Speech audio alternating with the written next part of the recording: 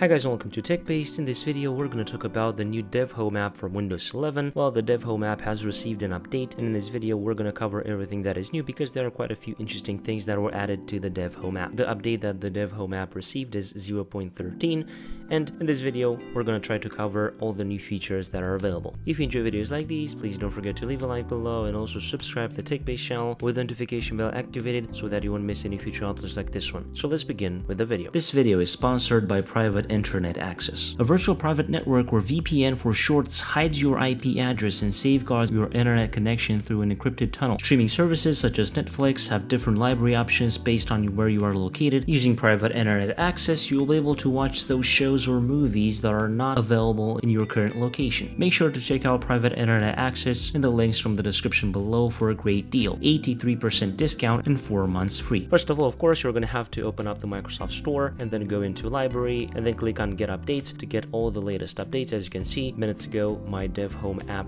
was modified. The Dev Home app is still in the preview stage in the testing zone, but it is starting to have some really useful features, which we're going to cover in this video. So after you do this and you have the Dev Home app updated, you can just open it. Once you open it, you're going to notice that it will also update whenever you're opening it. And if you go to settings, you should see the new version, which is 0.13. I think the Dev Home app has been changed quite a bit since the last time we covered it, but as you can see, the design is pretty nice. It matches the Windows 11 experience and everything is good to go. I'm just gonna go quickly through everything that is here. Basically, we have certain widgets which we can use to monitor our CPU, GPU network, and we can add certain other widgets. As you can see, we have other things that we can add here. I think that is pretty nice. We also have machine configuration. Basically, here we can set up a local machine configuration file, clone repositories, install applications, add a dev drive, which will, of course, open the settings app with the dev drive options inside the settings app. And now for the version 0.13, we have a new page which is Windows customization. And here we have options for the file explorer and also Windows developer settings. And you should also have additionally a new section which is called quiet background processes, which can analyze your system. I'm not really sure why I don't have it, but I'm just gonna show you a screenshot from Phantom Ocean 3 of how that will look. Now, if we're going into the file explorer section, as you can see, we have a few options that are pretty interesting and useful in my opinion. For example, show file extensions, show hidden and system files, files, show full path and title bar, show files after extraction is complete, show empty drives, and also end task. I think these are the most useful quick settings that you can do. For example, you want to show the file extensions, just go here, enable this, or you want to show hidden system files, just enable this, show full path in the title bar, and so on. Also the end task section, basically enable end task in taskbar by right click. If we enable this, we should have this new button end task when we right click on a file. And also for demonstration purposes, let's just create a new text document here and let's see if we enable show file extensions if it's going to show the extension. As you can see it does so i think this is pretty nice. So these options should work pretty good even though they were just released and dev home is still in the preview stage. Now if we go into windows customization we also have windows developer settings which is a quick link that will redirect us to the settings app into the for developers section. And also additionally could see a new dev drive insights page that was spotted by aaron janker on twitter. So you're also going to have a screenshot from that. I think the dev home app is shaping up to be a pretty useful app. Even if you're not a developer, even if you're not using the GitHub integration or writing code, you could just use the File Explorer Windows customization section to quickly show file extensions, show hidden system files, or other quick things like this. Because if you want to show the file extensions, for example, in the File Explorer, you have to go to these three dots, click on Options, and then click on View, and then just search for hide extensions for null file types, disable this, and then line OK. Basically, I think through the Dev Home app, things should be pretty easier and faster. So this is the new Dev Home app. I'm hoping that you enjoyed this quick showcase of the new Dev Home app, the new update 0.13. Let me know below in the comments if you've tested it or if you will test it